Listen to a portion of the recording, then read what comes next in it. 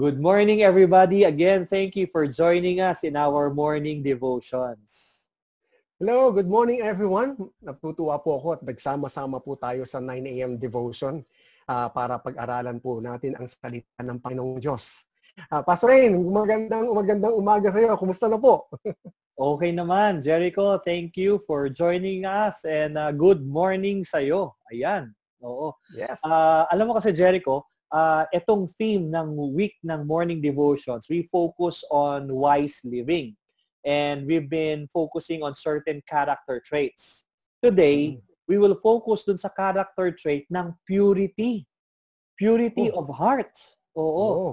So, pag sinabing pure, uh, para sa'yo, Jericho, anong ibig sabihin nun? Pure. Kumari, ito, pure drinking water. Anong ibig sabihin nun sa'yo?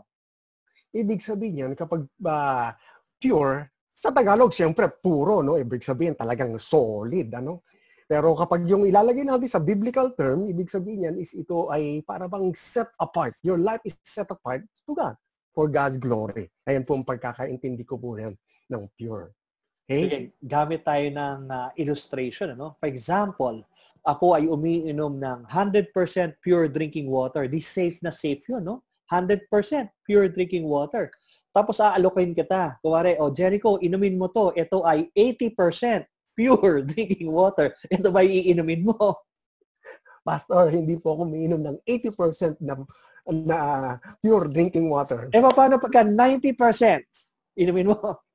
hindi rin po, Pastor. Ah, sige, sige, sige, sige. Okay, ha? 99% pure drinking water. Iinumin mo kahit na 99% pa yan, Pastor, kahit yung 1% po ang mahirap dyan, impurity po yan. Pwede po ako magkasakit at pwede po akong ma-hospital. Okay, marami na pong lumalabas na, ma- na mga sakit ngayon. Alam mo, tama ka dyan. Kasi ang pag sinabi nating pure, it means 100% if it's it's not 90%, it's not 95%, it's not 99%. Ibig sabihin, pag pure 100% kasi kung 99% pure lang, di merong 1% na impurity. It does not mean that it's pure, no? Pure means 100%. Yan ang pag-uusapan natin ngayon, purity of hearts. So, join me in Proverbs chapter 22 verse 11. Basahin po natin 'to. Nakalagay sa verse 11 of Proverbs chapter 22, One who loves a pure heart and who speaks with grace will have the king for a friend. Wow! So merong blessing pala pagka pure ang heart mo. At saka sabi dito, one who loves a pure heart and speaks with grace. Uh, para bang talagang totoo yung verse na yun, no? na out of the abundance of our hearts, our mouth will speak. So if our hearts are pure, then our words are, are with grace. At sabi dyan, you will have a king or the king for a friend. Ang, ang tingin ko dito, hindi lang basta king. Uh, we can have the king of all kings, our Lord, Savior, our God, as our friend. We can be friends of God if our hearts are pure. What do you think, Jericho? Yes, tama po. No? Kalooban po talaga ng Panginoong Diyos sa bawat isa sa atin na maging pure in the eyes of God, blameless in the eyes of man, and blameless in the eyes of God. Kaya nga po, nais po ng Panginoong Diyos sa bawat isa sa atin, makonform tayo into the image of our Lord Jesus Christ. Amen. And uh, I believe in that, and I also believe that it is really God's will, no, that, that for our hearts to be pure. In fact, it's very important to Jesus. That's why sinabi niya doon sa Matthew chapter 5, yan yung beatitudes, no? Uh, sa Matthew chapter 5, verse 8, sabi ni Jesus, Blessed, blessed are the pure in heart, for they will see God. Wow, ang isang blessing pala, pagka pure ang hearts natin, we will see God. That means we will realize the goodness of God. We will realize the faithfulness of God. Makikita natin ang kagandahang loob ng Diyos dahil dalisay ang ating puso. On the other hand, wow. oo, on the other hand, if our hearts are impure, if there are impurities in our hearts, then it's very difficult to see the goodness of God it's very difficult to see the faithfulness of God. Siguro ang lagi lang natin makikita yung mga bagay-bagay na na pwede nating ireklamo, mga bagay-bagay na pangit sa ating buhay, no? Kasi impure yung ating hearts, no? And that's why Jesus is saying, blessed are the pure in heart, they will see God. See. Somehow, uh, the purity of our hearts, no, uh, or rather, the impurity in our hearts would cloud our visions. The impurity of our, of our hearts will cloud the way we see things, no? What do you think, Jericho? Tama, Pastor, no? Tunay nga kapag meron tayong impurity sa ating puso, hindi po natin talaga ma-experience who God is in our life. Kasi nakafocus po tayo sa problema, nakafocus po tayo sa ating sarili, nakafocus po tayo kung ano yung meron tayo. Pero hindi po natin nakikita o na-experience ang kabutihan ng Lord sa ating lahat. Kaya nga po napaka-importante na meron po tayong purity of our heart and then we will experience that the goodness of God in our life. We will see the we will see God, no? We will we realize uh, the goodness of God with our with, if our hearts are pure. Yes, sir. Alam mo, hindi lang yung makita natin ng Mhm. Lord, no? Sa Psalms, ang sabi dyan, we couldn't even stand in the very presence of our God. We couldn't even stand in the very presence of the Holy God if our hearts are not pure. Allow me to read Psalm 24 in verse 3 to 4. Nakasabi dyan, Who shall ascend the hill of the Lord? Who shall stand in the holy place? One who has clean hands and a pure heart, who does not lift up his soul to, uh, uh, to what is false and does not swear deceitfully. Na, naka-define Mhm. dito, ano ba yung impure heart? No? Ano ba yung heart na impure? Nakalagay dyan, yung mahilig sa falsehood at saka sa deception. Sabi niya, this, the, a person who embraces falsehood and deception will not stand in God's presence. No? Uh, again, allow me to read. Who shall ascend in the hill of the Lord? Who shall stand in his holy place? He who has clean hands and a pure heart. Dapat dalisay ang puso para tayo tumayo sa presensya ng ating banal na Diyos. Alam mo, naalala ko si Isaiah. Sa Isaiah chapter 6. Nakita niya ang Diyos, no? Holy, holy is the Lord God Almighty. And as he saw the Lord, he said to himself, Woe is me, for I am undone, for I am a man with unpure lips, no? Uh, un- I am an unpure man, no? And so, he couldn't stand in the presence of God. Parang ganito, hindi tayo makakatayo sa presensya ng Diyos kung ang puso natin ay hindi pure. And so, the, the real blessing here is this. How can a person like you and me, paano tayo nakakatayo sa presensya ng Diyos? Nakakatayo lamang tayo sa presensya ng Diyos sa pamamagitan ng ginawa ni Yesu Kristo sa krus ng Kalbaryo. His blood was shed for you and me. His blood was shed to wash away our sins, to purify and sanctify us from inside out by the washing of, of uh, His blood. No? And because of what Jesus did, we stand in the presence of God, not in the merits, not on our own merits or our own credentials, pero sa credential lamang ng banal, ah, ng credential lamang ng ating Diyos at tagapagligtas na si Yesu Cristo. That's why we're able to stand before God. And because of what Praise Jesus God. did, we're able to lift up holy hands and we're able to come before Him with purity of hearts because of what Jesus did. So the question for us is this, yun po ang binigay at kinaloob ng Diyos para sa atin. Tayo naman, paano po natin, sa tingin mo, mame-maintain at magagwardyahan itong kaloob ng Diyos sa atin? How can we guard the purity of our hearts? Yeah, meron pong binabanggit sa Biblia sa Matthew 12 verse 34. Si Kristo pong nagbabanggit po rito. Nakalagay po ron, ah, out of the abundance of the heart, the mouth speak. Ano pong ibig pong sabihin nito? Lahat, ito po ha, we have, hindi lang po natin dapat i-guard ang ating puso, kundi pati na rin po ang ating isipan. Lahat po ng ating i-feed, i-feed o ilalagay natin sa ating mga mga mata o maririnig po natin mga negatibo o positibo po yan. Ito po ay maglalaro sa ating isipan at yan ay papasok sa ating puso.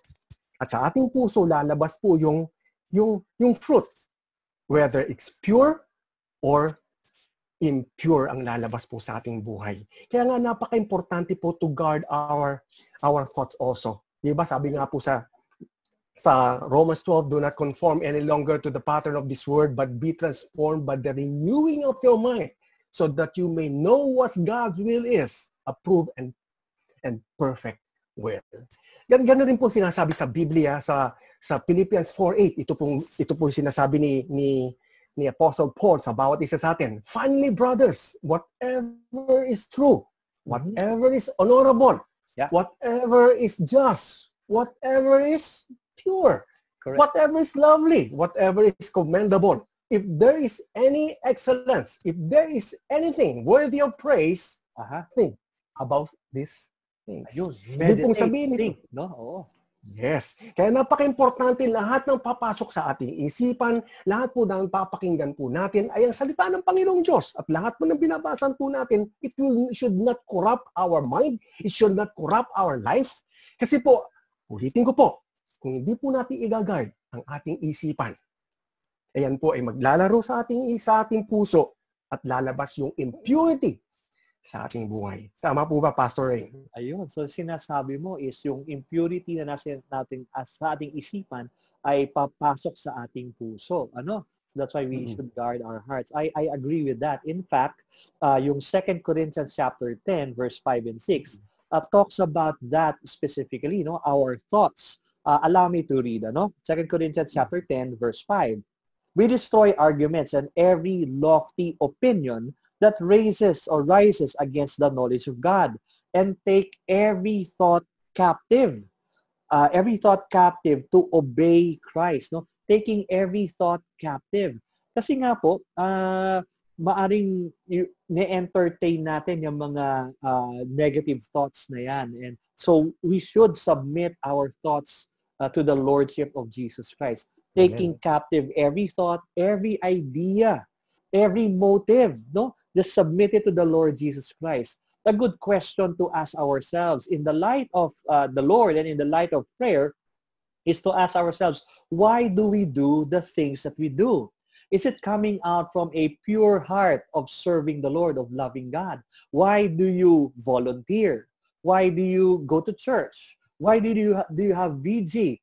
Ah, baka naman meron kang self-promotion, baka merong impure na nakahalo dyan. Ano? It's good to subject our thoughts and our motives before God and really Yeah. uh, uh, filter that by having a resolution that we do the things that we do because we love the Lord.